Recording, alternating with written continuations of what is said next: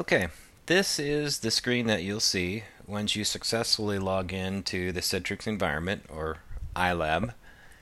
And uh, so, assuming you're able to get through that hoop, uh, if not, the help desk or the automatic password resetter tool is the only thing that'll get you through that hoop. There's also a plug uh, plug-in for your browser that you'll need to install, and that'll allow you to get to this spot.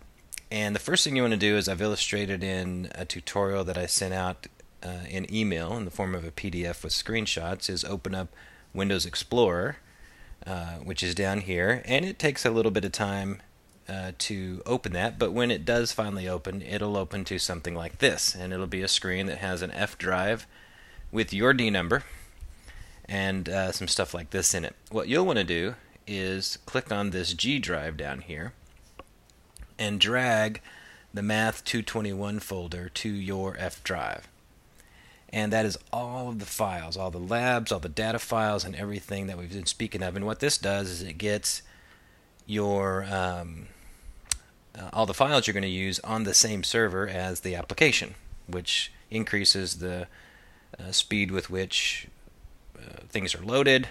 Uh, usually saves you some trouble. You can do it from your machine to the iLab server if you want, but I recommend this. So I click on here and we'll go into Math 221 folder and you would see uh, these files, uh, two folders um, that have um, the um, trying to move that over here it's not going to let me.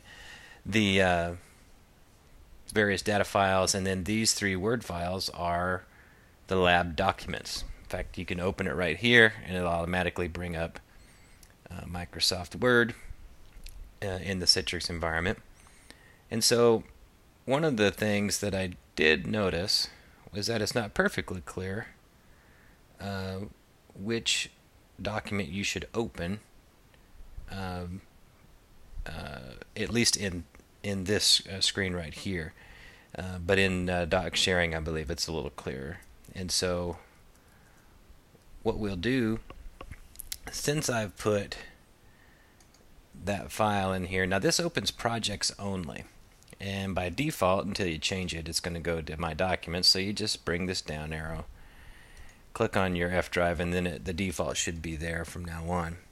And this one project file, and I believe this will be the last time in a lab where you'll actually open a project file. You'll be going into one of these folders through a different uh, file option on the menu to open worksheets, and I also have illustrated that. But we're going to open this file, the one that's that project file that's already in there. And you see 23 columns of various information that you'll be called upon to uh, get answers to. So, um, for instance, this first create a pie chart for the variable car. All right.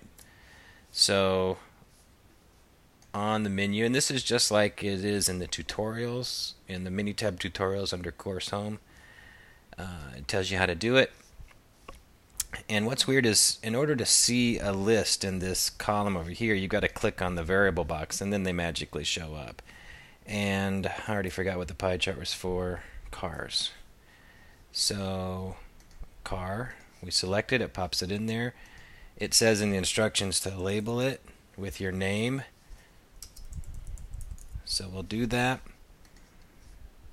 And then click OK. So we get a pie chart. Now I have noticed that there is an issue cutting and pasting from here into Word. Uh, I, that was kind of a surprise to me when I tried it, and I think uh, some other people have noted that. There is a way to get around that. One, you could screenshot it and then crop it into Word, or if you just have to have it perfect on the file menu. If you have a graph up any kind of graph histogram pie chart whatever you can save graph as and change it to say a jpeg.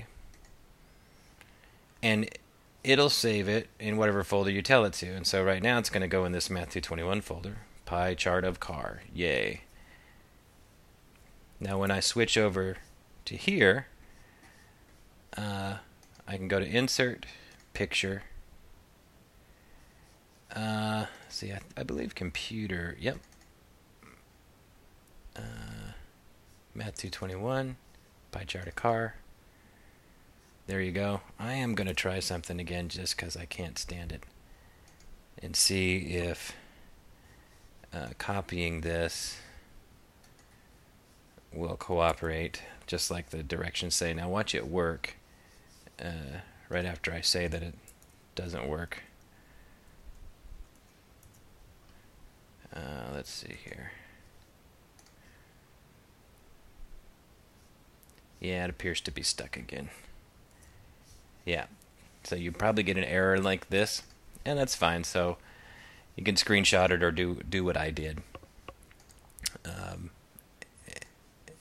and all that. And you can make these huge, just in case you want to scare somebody. So that's I gave you the first answer, or how to do it, and the rest are fairly straightforward. And in fact, you can see that they give you directions on what to do. And if you go into the Minitab tutorials in the course,